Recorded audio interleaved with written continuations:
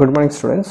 Welcome back to our English literature class. So today in this class we will learn chapter 5 that is Arnold the prickly teddy. So this is a story of a little boy and a brown color teddy bear.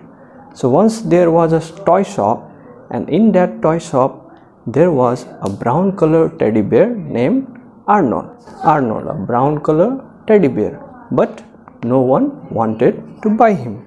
Why no one wanted to buy him is because he has the prickles around his body. Means the fur of Arnold was no not so soft. So the fur of Arnold was not so soft as no one wanted to buy him. So he was just kept in the toy shop.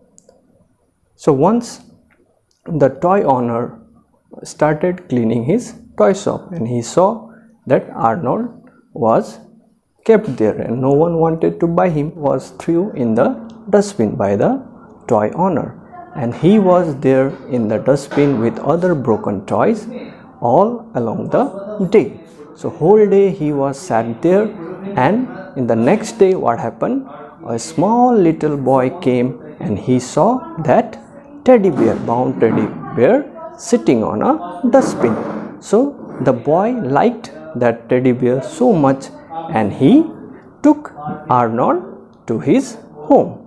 So when the boy took Arnold to his home, his father asked that where did you get this teddy bear? So he told that I got this teddy bear in the broken toy. So the boy told the father that Papa let me keep this teddy bear as the little boy has not seen a teddy bear before or he had never had a teddy bear before.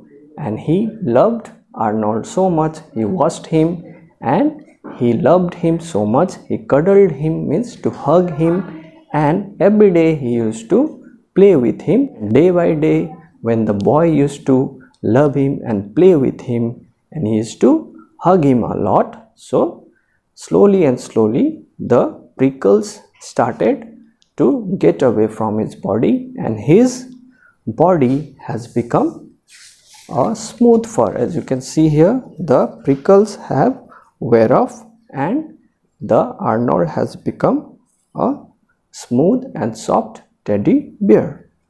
Uh, as you have heard the story, now we will just see a brief summary of the story so as you see in the board there there was a toy shop. There was a toy shop and the teddy name was arnold. The toy shop in the toy shop there was a teddy the brown color teddy bear.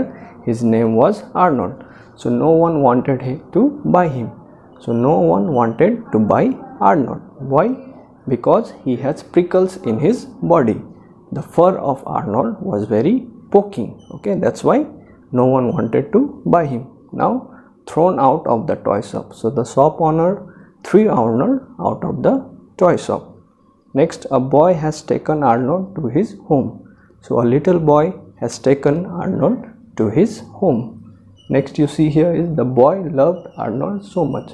So the boy loved Arnold and played with him so much. So slowly the prickles wear off from his body. So because of the love of the boy, the little boy, the prickles get away from the body of the Arnold. So this is all about the story students.